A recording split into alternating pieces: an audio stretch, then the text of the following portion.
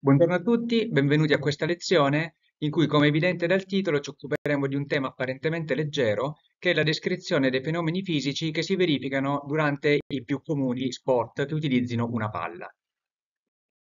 Chiave di ogni gioco è la presenza di un regolamento, quindi prima di cominciare definiamo quali sono le regole del gioco che faremo insieme oggi. Innanzitutto il seminario è strutturato in modo da essere accessibile a tutti, quindi per quanto le conoscenze preliminari di matematica e di fisica possano essere utili, non saranno strettamente indispensabili per riuscire a seguire la logica del ragionamento che faremo. Detto questo, però, vi devo dire con onestà che i fenomeni che studieremo li studieremo applicando rigorosamente il metodo scientifico, quindi sarà una trattazione fisica del problema, Trattazione fisica vuol dire definire delle grandezze quantificabili legate al fenomeno che vogliamo studiare, quantificabili implica misurabili ed esprimibili tramite numeri, definiremo quali possono essere le grandezze che ne condizionano il comportamento, legheremo gli aspetti di interesse ai possibili parametri che lo modificano tramite delle opportune equazioni e la soluzione di queste equazioni ci fornirà la descrizione quantitativa del fenomeno che ci interessa. Come impostato questo modo di procedere, sarà inevitabile la presenza di matematica e la presenza di equazioni, che sono implicite nel modo di lavorare la fisica. La matematica è il linguaggio che usa la fisica per esprimersi. Detto questo, però, vi prometto che la matematica presente sarà soltanto quella strettamente indispensabile e eviteremo ogni volta che sarà possibile i calcoli intermedi. Ci saranno soltanto, però, delle minime eccezioni in cui lo sviluppo di un ragionamento più esteso e di calcoli mi sembra che possa essere utile. Nella lezione ci occuperemo dell'analisi di sport con la palla moderni, però prima di cominciare può essere utile fare un salto indietro nel tempo e vedere da quant'è che gli uomini utilizzano la palla come elemento di divertimento.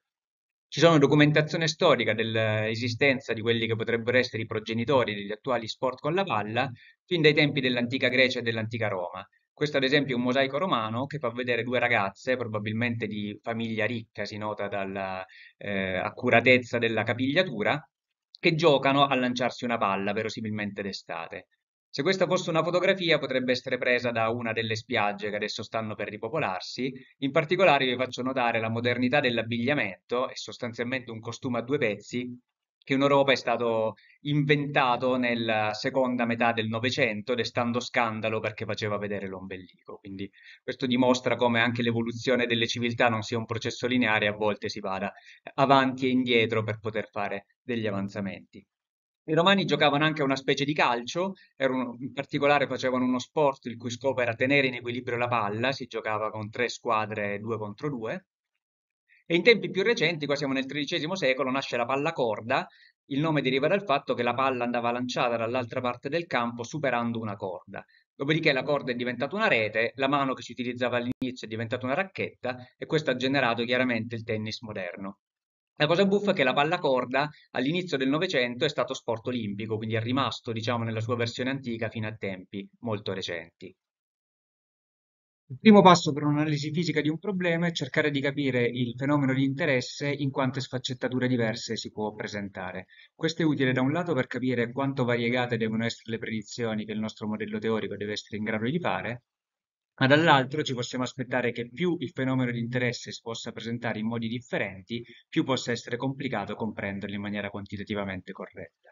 Abbiamo detto prima che tutti gli sport intrinsecamente si portano dietro un regolamento, però ci rendiamo subito conto che il regolamento non è un buon punto di partenza per ragionare sulla comprensione della differenza dei vari sport, perché sport diversi implicano necessariamente regolamenti differenti in almeno qualche punto.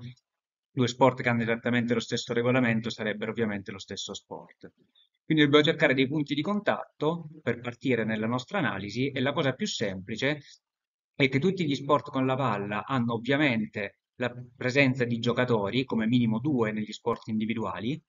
e tutti si svolgono in dei campi da gioco di dimensioni limitate. Quindi come primo aspetto cerchiamo di ragionare su quanto diversi sono i vari sport in termini di numero di giocatori coinvolti e di dimensione del campo da gioco.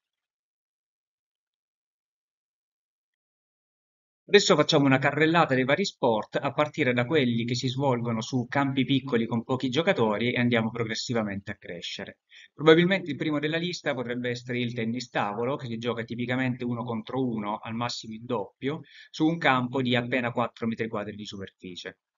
Curiosamente il tennis tavola ha ovviamente un fratello maggiore, che è il tennis. Il tennis si gioca con regole abbastanza simili a quelle del tennis tavola, anche se non identiche, però il campo da gioco è di oltre 200 metri quadri, quindi sono 50 volte più grande.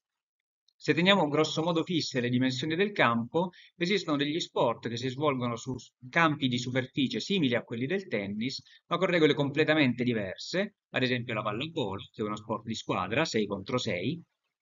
e rimanendo nell'ambito degli sport di squadra, possiamo arrivare a sport che coinvolgono più giocatori che non la pallavolo e si svolgono su campi più grandi, ad esempio il calcio. Qui vedete raffigurata la fantastica nazionale d'Italia 90, la superficie di un campo da calcio è dell'ordine di circa 7000 metri quadri.